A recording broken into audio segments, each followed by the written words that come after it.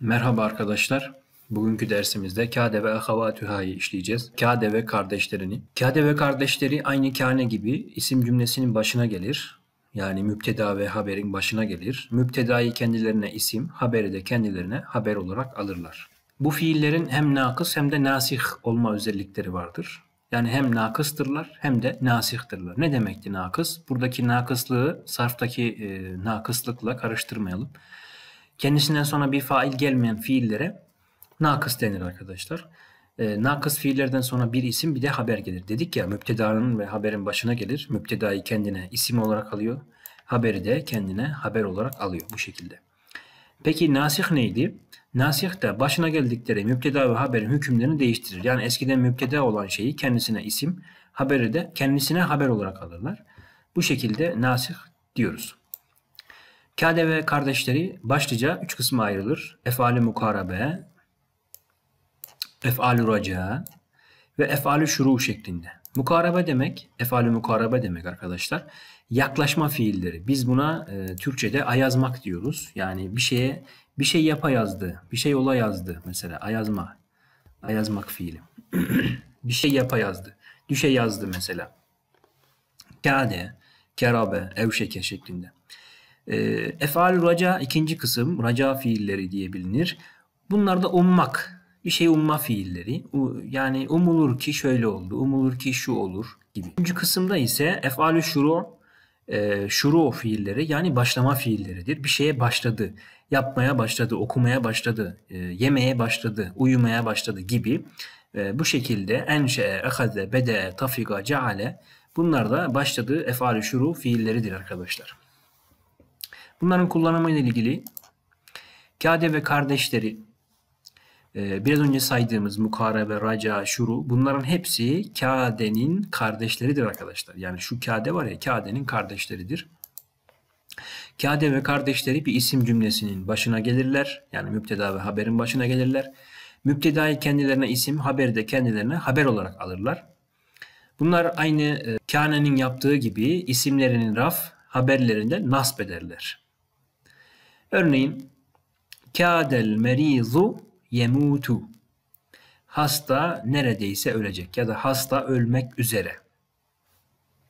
Bakın burada kade bizim bahsettiğimiz kade nakıs fiil. Ee, el merizu kadenin ismi. Bakın merfu olmuş. Raf alameti de damme. E, yemutu bu kadenin haberi. Bir şey fark ettiniz mi? Kade nasb eder dedik ama burada görüldüğü gibi yemutu şeklinde merfu olarak gelmiş. Hemen bunu e, şöyle izah edebiliriz arkadaşlar. Kadenin haberleri mutlaka muzari fiil şeklinde gelir. Tekrar edelim. Kadenin haberleri mutlaka muzari fiil şeklinde gelir. Peki muzari fiil e, nasıl nasb olmuş? E, biz fiil cümlelerini, isim cümlelerini, şibih cümleleri ve mebni kelimeleri mahallen irap yapıyorduk. İşte bu da mahallen mensup olmuş. Buradaki harekeye biz dokunamayız. Muzariyi nasp etmek için muzariyi nasp edici bir edat gelmesi lazım. Bunun nasp olması mahallendir arkadaşlar. Bu örnekte görüldüğü üzere haber olarak gelen muzari fiil merfudur. Bakın yemutu fiili merfu gelmiş. Ee, şöyle bir soru soracak olursanız kadenin haberi mansup olmaz mı? Ee, cevabı da şudur arkadaşlar. Kade ve kardeşlerinin haberleri daima muzari fiil olarak gelirler. E, muzari fiillerde e, bir fiil cümlesi oldukları için mahallen mensup olurlar. Şimdi bunları efali mukarabe, efali şuru, efali raca şeklinde inceleyelim. Bakalım neler çıkacak. Efali mukarabe, kade, kerabe, evşeke şeklinde. Bunlara örnek verelim. Ne için kullanılır bunlar? Tedullu ala kurbi hudusil haber. Haberin meydana gelmesinin yakın olduğuna işaret eder. Kâdel merizu yemutu. Hasta neredeyse ölecek. Ya da hasta öyle yazdı. Kâdel merizu en yemute. Bunlar da yemutu şeklinde geldiği gibi başına en alan muzari fiil olarak yani enli mastar da gelebilir arkadaşlar. Kerabet eşşemsu tavharu. Güneş neredeyse doğacak. Kerabeti şemsu en tevhara. Evşekel mataru yenzilu. Yağmur neredeyse yağacak. Yağmur inmek üzere ya da E, yani hava kararmış artık. E, bütün işaretleri tamam olmuş. E, bakan kişi diyor ki yağmur inmek üzere. Peki efal racada neler var? Efal raca yani umma fiillerinde asa, hara, ihlevlaka şeklinde tedullu ala racai hudusil haber. Bir haberin meydana gelmesinin umulduğunu işaret eder. Beklendiğini işaret eder. Aset talibu yencehu.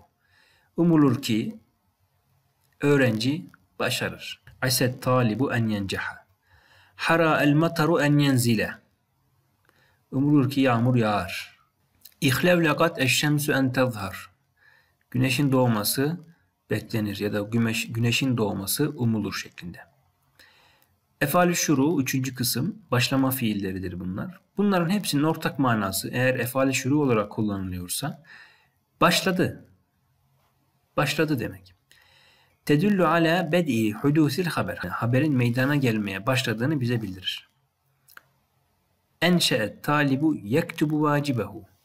Öğrenci ödevini yazmaya başladı. Bakın enşe başladı. Et talibu enşe'nin ismi. Yektubu fiil cümlesi enşe'nin haberi. Vacibehu da yektubunun nesidir arkadaşlar? Mef'ulüdür. Yektubunun faili nerede? Gizli özne hüve. Bakın hüve yektubu. İkinci örnekte ehazet Fatimetu tusalli. Fatma namaz kılmaya başladı. Ehazet bizim nakıs fiilimiz efal şuru. Fatime ismu ehade. Tusalli de haberu ehade. Tafika tiflu yebki. Çocuk ağlamaya başladı. Tifil ismi tafika yebki haberu tafika. Cealel imamu yahtubul cumate. İmam hutbe vermeye başladı. Bakın hepsinin ortak manası efal şuru olduklarında başladı manasıdır. Haberin başına en gelip gelmemesi yani en dediğimiz e, muzarenin başına en gelirse mastar oluyordu. Müevvel mastar diyorduk biz buna. Gelir mi gelmez mi? Ne zaman gelir? Bunlar dört kısma ayrılır arkadaşlar. Haberin başına en gelmeyenler bunlar mutlaka gelmez. Yani hiçbir şekilde gelmez. Şuru fiilleri yani başlama fiillerinin hiçbirinin başına e, en gelmez. Efali şuru neydi? Bakın şurada. Enşe'e, ehaze, bede'e, tafiga, ceale. Bunlar efali şurudur. Bunların haberlerinin başına en gelmez. Bakın haber yektubu. En var mı? Yok. Tusalli yok. Yebki yok. Yaktubu yok. Yani efali şurun haberinin başına en gelmez. Peki diğerlerine gelir miydi? Bakalım. Efal racada vardı. Bakın en yenzile, en tezhara, en yenceha. Efal racada gelebiliyor. Efal-i mukarabede var mı? Evet, efal-i mukarabede gelebiliyor. Şimdi devam edelim.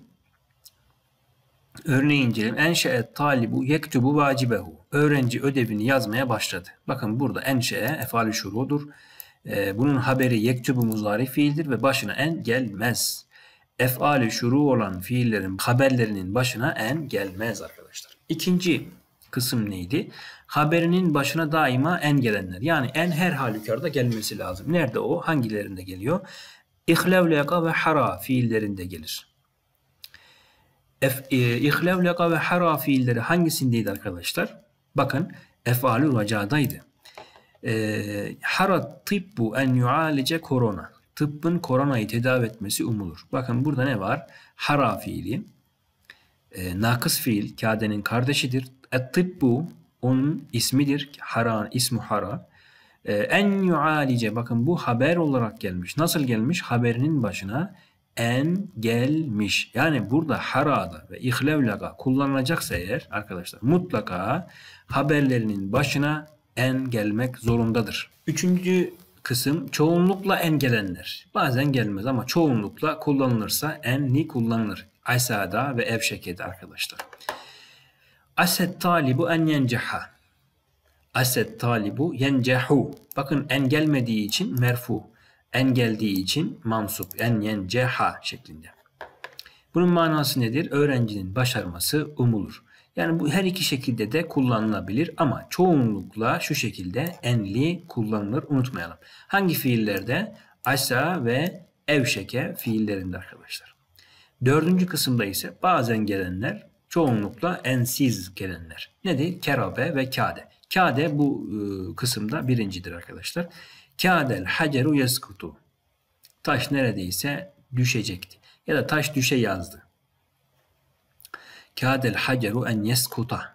İkisi de olabilir ama çoğunlukla arkadaşlar bu şekilde ensiz kullanılır. Kâdet tiflu yebki, kâdel veledu e, yecri mesela bu şekilde söylenebilir arkadaşlar.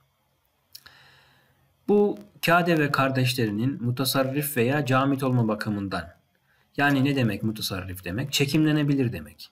E, camit ne demek? Çekimlenemeyen demek. Yani sadece mazisi var. Muzaresi yok manasında arkadaşlar.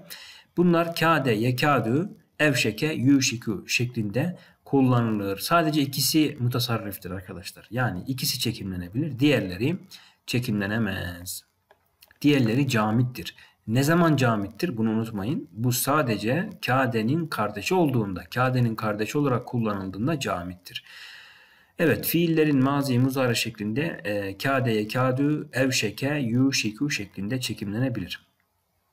Biraz önce söylediğimiz gibi kadenin diğer bu kade ve evşeke dışındaki kardeşleri yani şuradaki efalü şurular, efendim efalu racalar e, bu kısma girer. Bunların arkadaşlar çekimlenmesi diye bir şey söz konusu değildir. Ne zaman bunlar tam fiil, ne zaman nakıs fiil olarak kullanılırlar onlara bakalım.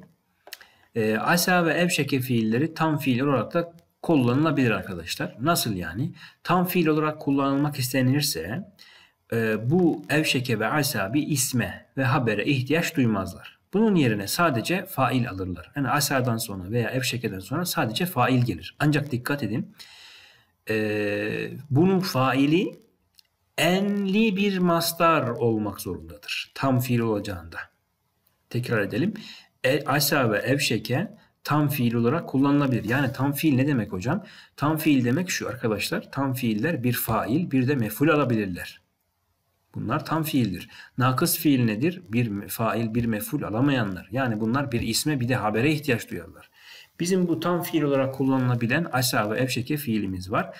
Bunlar eğer tam fiil olarak kullanılacak olursa failleri enli mastar olmak zorundadır. Örneğini inceleyelim. Asa en tuhibbu şey'en ve huve şerrul Bakara suresinde bir ayet-i kerime. Umulur ki, asa umulur ki en tuhibbu şey'en sevdiğiniz şey sevdiğiniz bir şey ve huve şerrul lekum sizin aleyhinizde kötü olabilir. Bakın burada asadan sonra gelen en tuhibbu en tuhibbu faildir arkadaşlar. Eğer bu şekilde gelirse failimiz tam fiil olarak kullanılıyor. Aynı asanın e, nakıs olarak gelen hali de şudur. Dikkat. Asa et talibu en yenceha. Ve hocam ikisinde de enli mastar var. Nasıl oldu?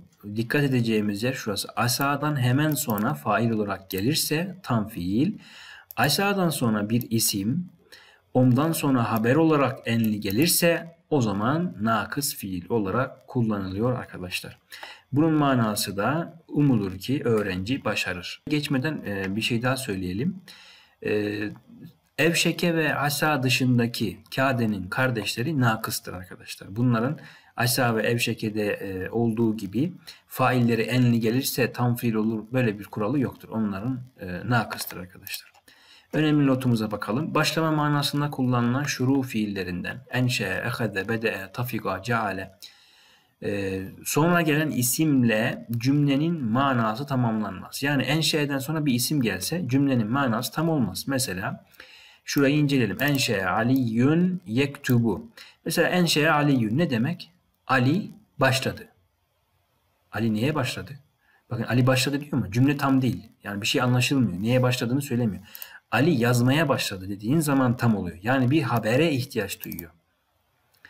Evet böyle bir haber aldığında arkadaşlar biz bunu biliyoruz ki nakıs kadenin kardeşi olarak kullanılmış şuru fiilidir diyoruz. Eğer bu fiiller başlama manasında kullanılmaz. Yani başladığı manasında değil de kendi hakiki manasında kullanılırsa ve kendinden sonra bir fail ve meful alırlarsa tam fiil olurlar arkadaşlar. Ve bu tam fiil olduğu zaman da bütün siga yani mazi, muzari, emir bütün sigalarda çekimlenebilir hale gelir.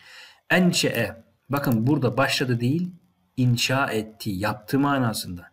Yapan kim? El mühendisü. Mühendis yaptı. Neyi yaptı? El bina'e bir binayı yaptı arkadaşlar. Mühendis bina yaptı. Şimdi burada enşe tam fiildir. Hocam nereden anladık? Biz e, yukarıda şunu söylemiştik.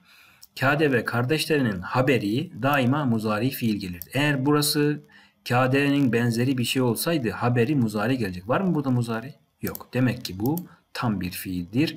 Bakın dikkat edin. Başladı değil, inşa etti, yaptı manasındadır. Ne zaman bunlar efali şuru olurlar? Hepsinin ortak manası. Bakın şurada enşe, ehaze, tafika, ceale olduğu gibi hepsinin ortak manası başladı olursa bunlar efali şuru olurlar. Evet, Kade ve kardeşlerini bu şekilde özetlemiş olduk. Ee, şimdi örneklere geçebiliriz.